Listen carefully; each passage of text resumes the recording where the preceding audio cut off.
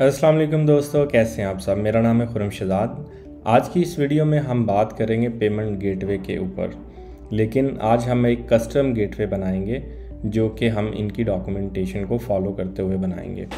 अच्छा ऑलरेडी अगर आप इनकी वेबसाइट पे जाएँ तो यहाँ पे डेवलपर डॉक्यूमेंटेशन है, जिसके अंदर आप थीम लैंग्वेज मॉड्यूल वगैरह बना सकते हैं।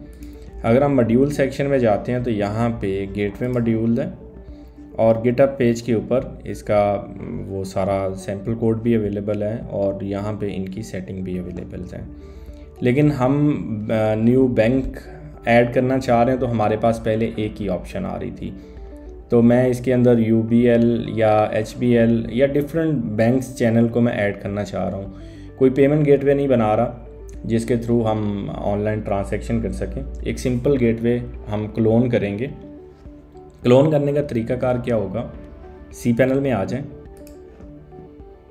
File manager W H M C S जिस लोकेशन पे हमने इंस्टॉल किया था, उस लोकेशन पे आ जाएँ। उसके अलावा मॉड्यूल गेटवे और यहाँ पे आप चेक करें मेल एन जो गेटवे हमने अनेबल किया हुआ था।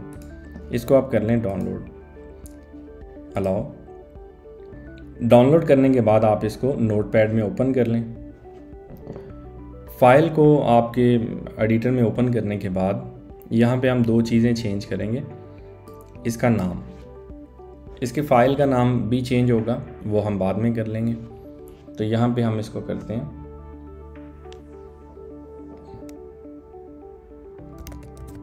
Jazz cash.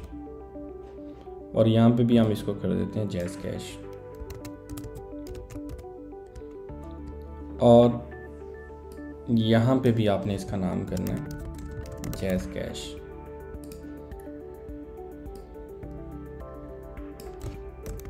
Jazz cash. Transfer instructions.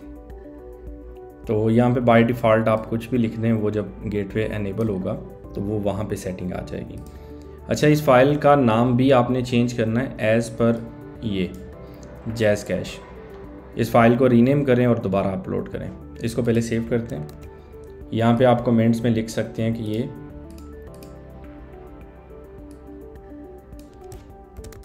Jazz cash payment gateway module. Save कर दें, फ़ाइल को रीनेम करें जैज़ कैश और हम अपलोड करेंगे। वापस आते हैं सी पैनल में। अपलोड पे आ जाएँ।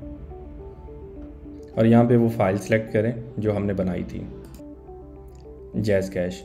अब हम चलते हैं वापस अपने डैशबोर्ड में।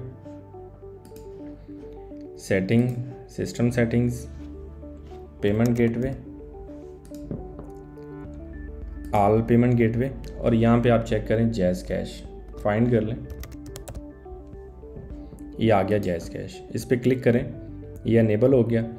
और यहाँ पे आप जैज़ कैश की डिटेल इंटर करके इसको सेव कर दें। इसी तरीके से आप सेम फ़ाइल को क्लोन करके मल्टीपल बैंक चैनल्स बना सकते हैं, जिसके अंदर स्टैटिक बैंक इंफॉर्मेशन सेव होगी।